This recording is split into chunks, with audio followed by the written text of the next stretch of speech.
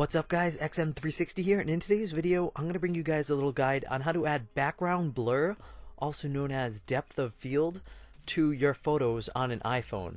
So this is very helpful, as you guys can see in the picture here. The one on the right is kind of like just a normal photo that you'll take a lot of times with an iPhone, and then the one on the left is kind of like a a higher quality look and it's not really higher quality it's just that you're you're blurring out the background and you're focusing on one area. Now higher end cameras that have a manual focus feature they can do this and you can focus in on whatever depth of field whatever distance you want but with the iPhone's autofocusing feature a lot of times you'll get photos that look like the one on the right.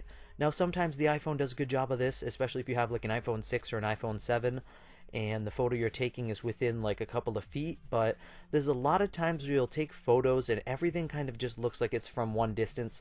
Nothing really has that nice background blur to it that makes the target object look very crisp and clear. So this was the issue I was having. A lot of my photos were coming out like the one on the right and not the one on the left. So I actually found this app for the iPhone. It's called FabFocus and you can find it on the App Store.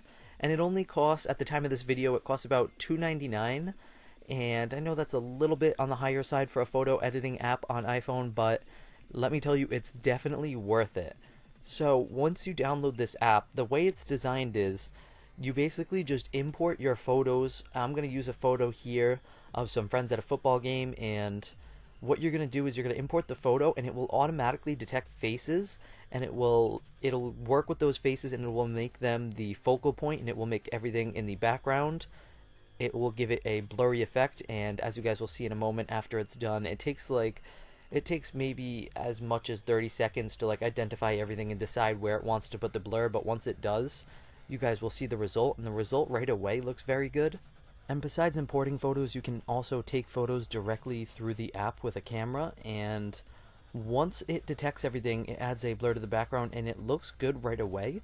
But you can also go further and I would suggest going further hit the edit button and you can see all the areas that they've automatically highlighted green.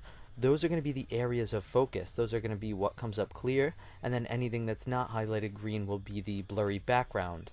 So you can then go in and they have all sorts of different shape tools. I'm using a circle tool right here to highlight different areas green that it may have missed and there's also an eraser tool to erase any areas that shouldn't be highlighted green and you can also change the degree of blur in the background.